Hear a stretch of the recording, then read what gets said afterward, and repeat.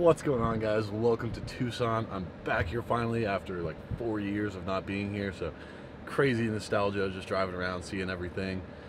I was about to head to practice. I'm at actually the gas station that's just down the road from the track and I just was thinking as I pulled up here to get some water that I don't have any tape so I searched the whole van. I'm in a minivan by the way, you guys see this thing.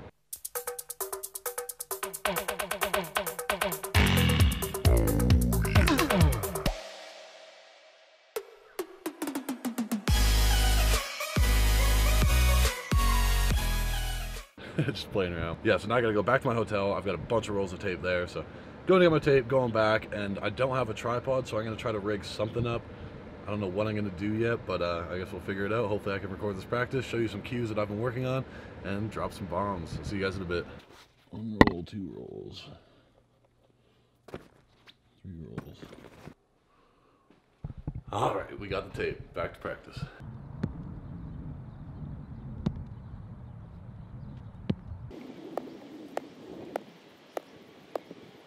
All right, gonna be going on to stand throws, and the thing that I've been working on on the finish is just trying to basically get my arm a lot more up. Um, a lot of the times I do drills I'm thinking coming from my chest, and I just want to think about getting it up. It's not actually gonna be that high.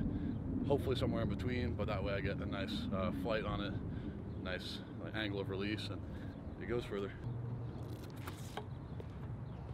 Just make sure I'm not pulling off the finish, um, just getting that arm nice and tall. Those are the two things that I'm working on. We got meet day coming up, so I don't want to change too much my technique, but uh, last couple practices I've been really thinking about getting that arm up. It's been helping a lot, so let's keep it going.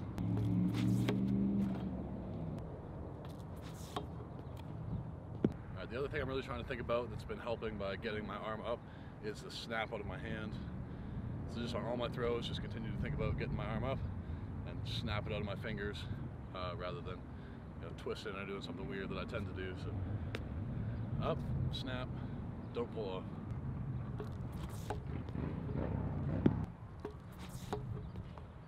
Alright, moving on to reverse stand throw. When I get to reverses, I have the tendency to want to pull off even more because I'm trying to jump. Um, so I'm going to try to avoid that as much as I can. Just continue to get that arm up, snap it out of my hand.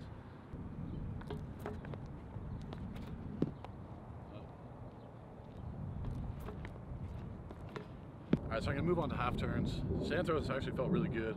Felt like I was getting up with it. Felt like it was snapping on my hand decent. I won't really know how much I was pulling off until I watch it back when I'm editing because I have a hard time feeling it in the first place, which I think is one of the big reasons why I do it. But uh, yeah, half turns, same thing. Um, kind of like do the more like South Africans with a little step into the middle, into the half turn. But just thinking, open up big, up on the finish, snap out of my hand.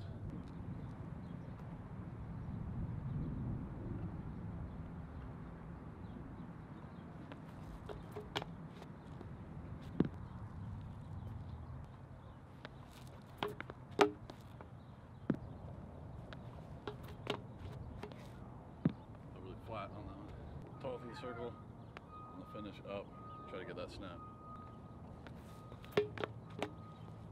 At last half turn, South African thing. Um, just try to keep the hips forward, nice and tall, and get up on the finish. Last one just felt like I was kind of bent forward, bent to the hips a bit, uh, nice and tall. Missed it with the snap, but felt a bit better with the hips. All right, on to fulls. I kind of went back to a Crouser-ish mindset out of the back, trying to just be long and patient uh, here and waiting until I get to this South African position that's helped my timing, helped my finish, helped the release angle and everything. So I'm gonna continue to try to work on that. Biggest problem was pausing in the middle, so just gotta keep keep turning through everything. Have to watch that and see what's going on. All right, my first movement in the last throw was dropping my hip in, so try to keep my hips underneath me again. Um, because dropping will, first of all, I don't want to drop the hip in, but dropping the hip in caused me to jump too far to the middle, which made me kind of crowded at the toe board, and I was a little bit blocked off too. So if I keep my hip underneath me, staying nice and tall, not dropping that hip back right away, I can get a bit more room, get my foot a bit more open, so I can finish the throw better. Felt better, just gotta find that direction, uh, getting more power into the throwing direction. hips underneath me out of the back, nice and tall in the middle, and just kind of find that South African position where I'm getting up on the finish, getting into the throwing direction. All right, I went over to the right, which in all the meets when I watch my videos, same thing happening.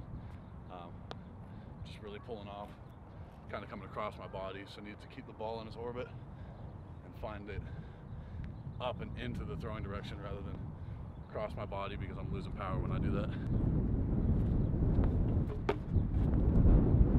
That kind of felt weird out of the back. Like I was diving a bit too much to the middle. Um, but it felt like I had good direction, but then it felt like it was too flat. So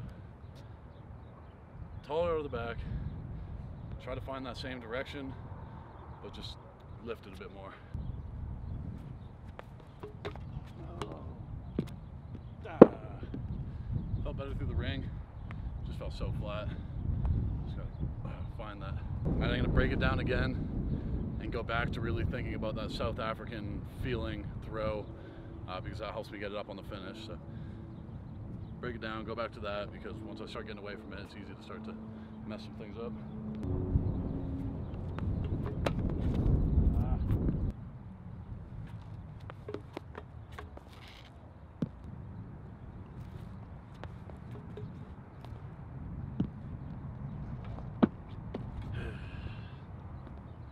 Shutting it down, I think.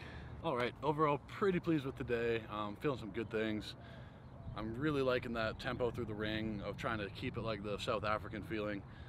It just helps me break it down, make it simple, and find that position where I'm getting a bit better stretch and a bit better lift on the finish. So really pleased with that. Out of the back, trying to be a bit more patient and longer. Um, I felt like I wasn't hitting it today the same that I was the other day in practice. Um, would have been Sunday on practice I was throwing and felt really good out of the back and I just like didn't have that same timing today. Um, as I'm editing, I'll be watching it and paying attention to what I was doing. Maybe I'll try to put something in, but we'll see if I did or not. But I got to meet two meets actually this weekend. There's a Thursday meet and a Saturday meet. So I've got an opportunity to throw shot and disc on both of those days. So that's one of my favorite styles of meet because it's the small groups of people. You've got your six throws and you've got two opportunities in each event to do it. So really good chance to hit some good throws. Uh, the weather here is always like pretty warm, pretty sunny, and just about no wind. And I love pretty much no wind for discus. That's my ideal uh, throwing condition because wind starts to get my head a little bit. But really excited. Anyway, thank you for watching. If you enjoyed the video, leave a like, and if you really enjoyed it, subscribe for more. I'll be back very soon with another one. Take it easy.